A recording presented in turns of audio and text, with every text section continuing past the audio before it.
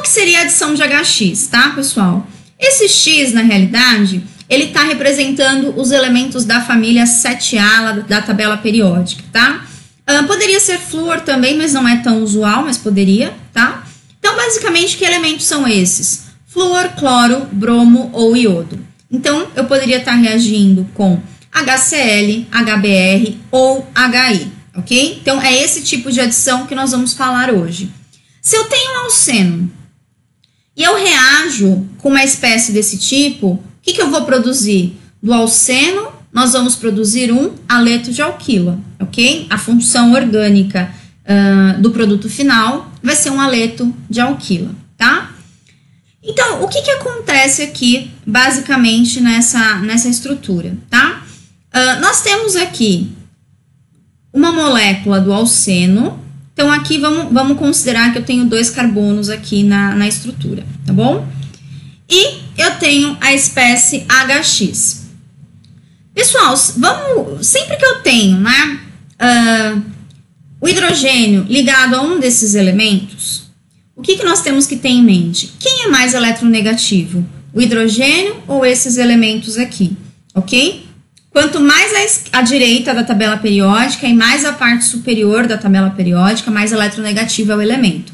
Então, o que, que significa? Ah, essa ligação aqui, olha, entre o hidrogênio e uma dessas espécies aqui, que está representada por X, ela é uma ligação polar. O que, que isso significa? Significa que existe uma diferença significativa de eletronegatividade entre o hidrogênio ok? E o halogênio, que seria o X, tá? E quem é mais eletronegativo? O halogênio. Então, significa o quê? Que os elétrons que compõem essa ligação entre o hidrogênio e o halogênio, eles estão mais localizados em direção ao halogênio, porque o halogênio é mais eletronegativo. Então, ele tem uma força de atração maior para esses elétrons que compõem essa ligação covalente.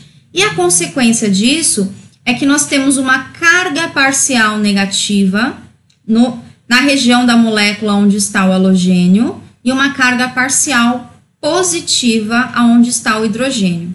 E aí, o que, que nós precisamos lembrar? O que, que é a ligação pi? A ligação pi, vou até voltar aqui no, no desenho anterior, que acho que está até um pouquinho uh, melhor, tá? Para que vocês possam aqui uh, visualizar, tá bom?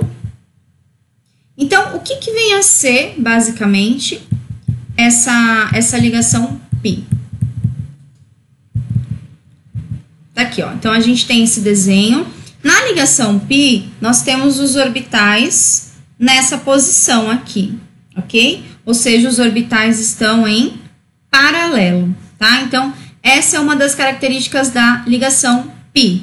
E o que, que isso significa? Se os orbitais estão nessa posição, nós não temos uma sobreposição dos orbitais. Então, ela é caracterizada por uma nuvem eletrônica, ok? E por que que eu estava discutindo com vocês uh, a questão, tá, da ligação, da ligação polar entre o hidrogênio e o halogênio? Por que eu estava discutindo isso? Como essa ligação é polar, o hidrogênio ele tem uma carga parcial positiva, então ele é atraído por essa nuvem de elétrons da ligação π. Então esse é um, esse é um ponto interessante. Como essa molécula é polar, ok? A carga negativa centralizada na região do halogênio e a carga positiva centralizada próxima ao hidrogênio.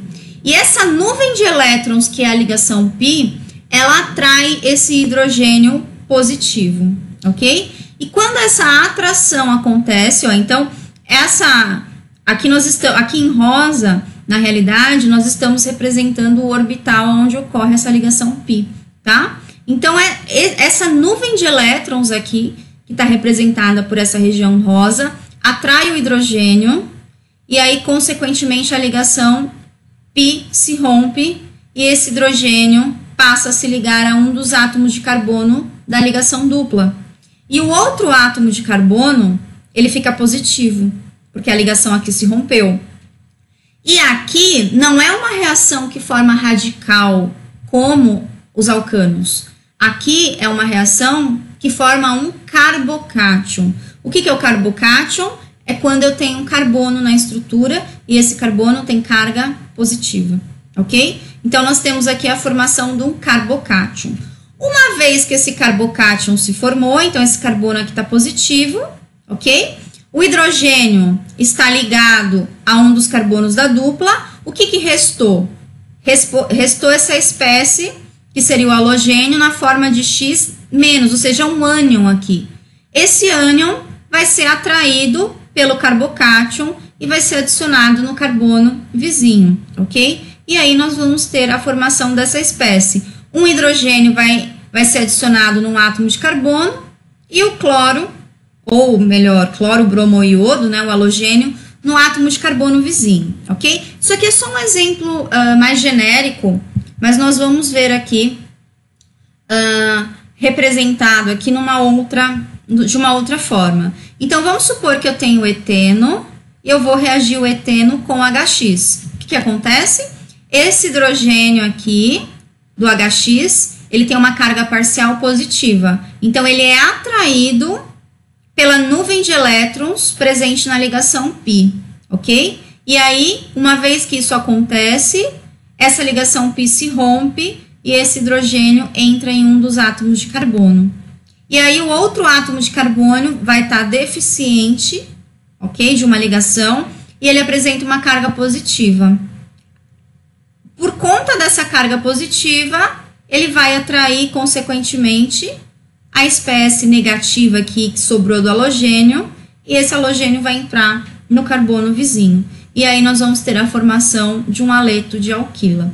Ok, pessoal? Basicamente, o mecanismo é esse, ok? A ligação π se quebra por conta da essa nuvem de elétrons atrai o hidrogênio, que tá, tem uma carga positiva, e aí forma-se o carbocátion. Uma vez que esse carbocátion se formou, ok? Ele vai atrair o ânion restante, que poderia ser Cl-, Br-, ok?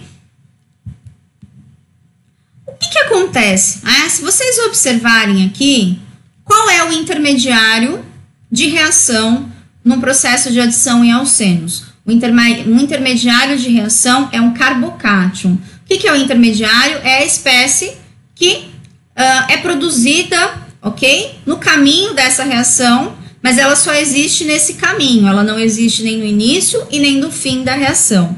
No caso dos alcanos, quem era o intermediário de reação? O intermediário de reação na halogenação de alcanos era um radical, ok? Aqui não é um radical, aqui é um carbocátion, porque nós temos um carbono com carga positiva, ok?